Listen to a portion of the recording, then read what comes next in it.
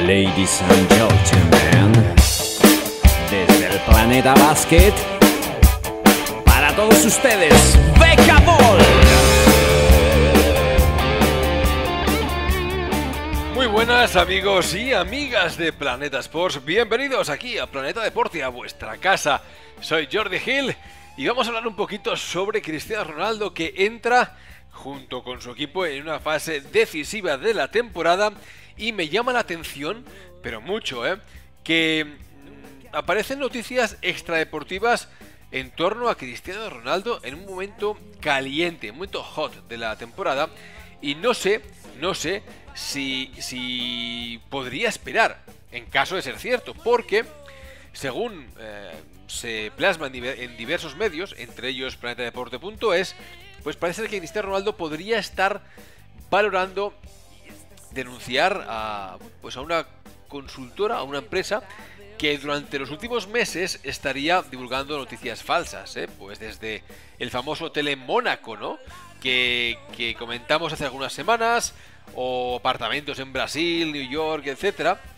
Y, y, bueno, pues, pues parece ser que esta empresa es Protogroup, que es de un empresario que tiene una pequeña parte del accionariado del Mónaco.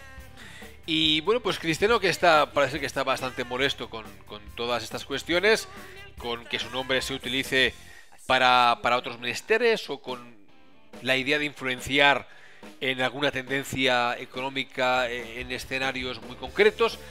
No se sabe muy bien, pero parece ser que todo esto no es cierto y que Ronaldo podría valorar eh, esta denuncia. Bueno, no sé si es el mejor momento para que el actual jugador del Real Madrid entre en disputas legales por algo que quizás seguramente podría hacer dentro de tres meses cuando todo el pan ya esté repartido y no haya peligro alguno de que bueno de que suceda nada extraño ahora mismo el Madrid es cierto que la liga la tiene perdida aunque aunque todo se ha dicho eh, en un par de semanas en un par de fines de semana se disputa el mega clásico ese partido que a todos nos gusta ver, sea cual sea, e independientemente de la clasificación. Al final un clásico es un clásico, un Barça-Madrid en este caso, en el Camp Nou, pues es un partidazo porque ambos equipos eh, quieren ganar.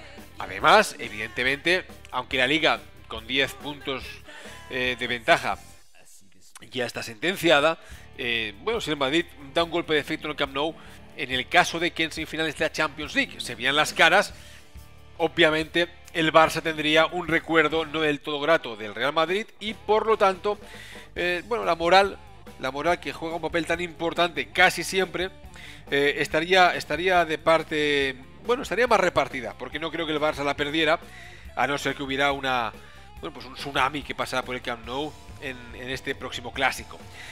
A mí lo que me preocupa es que eh, Cristiano Ronaldo este año no está, no está fino. Hay muchos goles, pero el equipo carece de, del liderazgo de, Ronaldo. Y quizás no es el momento ahora para entrar en, batallas y disputas legales. ¿eh? Es momento de centrarse, de concentrarse, de estar en lo que tiene que estar, que es de jugar al fútbol e intentar que el Madrid, que su Madrid, de una vez por todas, eh, bueno, pues demuestre la calidad, el talento que, que atesora una plantilla pues que, muy poquitas en este, en este mundo hay. ¿eh? Si vamos jugador por jugador, nos daremos cuenta que la plantilla de Real Madrid es una pasada. ¿eh? El Madrid tiene en, tres semanas un enfrentamiento importante ante el Wolfsburgo, en cuartos de final de la Champions League. En principio, rival asequible, aunque como he anunciado, las confianzas no son nada buenas. Está clásico, posteriormente, seguramente las semifinales de la Champions League y todos los jugadores, Ronaldo, Benzema, otro que tal, ¿eh? otro que le crecen, le crecen, iba a decir los enanos, pero eso no es políticamente correcto, pues le crecen cosas raras a su alrededor cada semana, pues tienen que intentar abstraerse y centrarse en el césped, en la pelotita redonda y nada más que el fútbol. Bueno, pues amigos y amigas, esta es un poquito la actualidad de Cristiano Ronaldo, del Real Madrid. Ya sabéis, podéis opinar en planetadeporte.es también en las redes sociales, como no, en Facebook, Twitter, Instagram, lo que os dé la gana, nos buscáis, Planeta Deporte, estamos en todas partes, YouTube, nos buscáis y nos encontráis y comentamos, ¿de acuerdo? Nada más, hasta aquí hemos llegado. Muchísimas gracias. Hasta la próxima.